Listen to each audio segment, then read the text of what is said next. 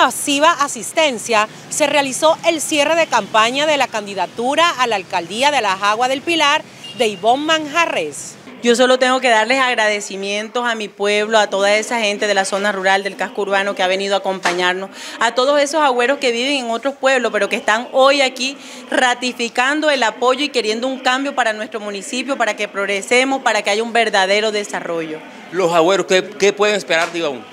Los agüeros lo que pueden esperar de Ivonne es una mujer que va a trabajar todos los minutos de este gobierno que Dios nos va a permitir por el beneficio de la comunidad. Ya vamos a dejar el individualismo y a trabajar por las verdaderas soluciones que necesita nuestro pueblo. ¿Las principales propuestas suyas cuáles son?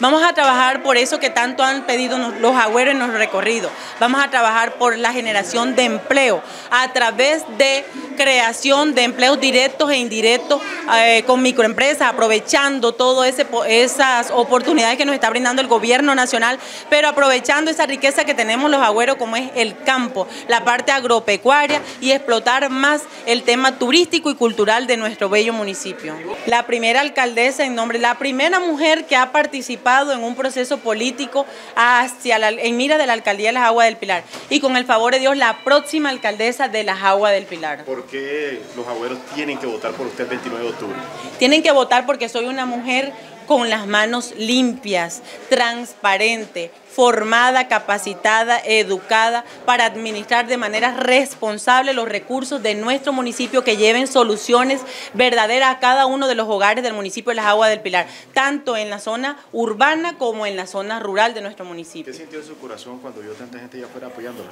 Pues yo sentí mi corazón eh, cargado de emoción, cargado de agradecimiento desde ya por todo el respaldo que he recibido de todas esas personas que lo que tienen es una esperanza, porque de verdad hayan unas oportunidades y un gobierno, un gobierno incluyente y equitativo para los habitantes de las aguas del Pilar. ¿Qué hay para la zona rural en tu gobierno?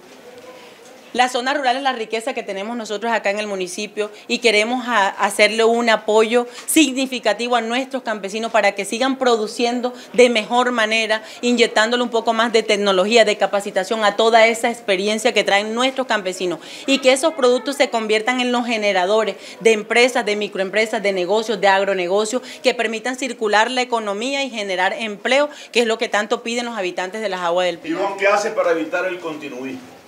Para evitar el continuismo ya estamos haciendo una campaña donde organizamos un programa de gobierno con la gente. El programa de gobierno lleva inmerso la necesidad, el sentir de nuestro pueblo y es primera vez que esto sucede en el municipio de Las Aguas del Pilar. Y por eso se llama Gobierna conmigo, porque los agüeros van a gobernar con Ivonne Manjarre, una mujer, como digo siempre, de manos limpias que solamente está concentrada en administrar, en gestionar verdaderamente los recursos de nuestro municipio y no en defenderme de nada porque no he hecho nada, sino querer a nuestro pueblo y ahora se lo voy a demostrar personas que no se han por quién votar en la Agua del Pilar. Sé que a partir de mañana ya las personas van a terminar de tomar su decisión. Sé que todos aquellos que están allí calladitos el 29 de octubre van a votar por Ivonne Manjarré, porque están convencidos de que ya es hora de que los demás profesionales del municipio de Las Aguas del Pilar y todas las personas que han querido hacer algo por nuestro pueblo, desde una administración o un poder político, lo hagan y no se, y esto no esté eh, de pronto encasillado en las mismas personas. Hay otros agüeros que también podemos administrar y lo vamos a demostrar en estos cuatro años que Dios nos va a dar la oportunidad de hacerlo.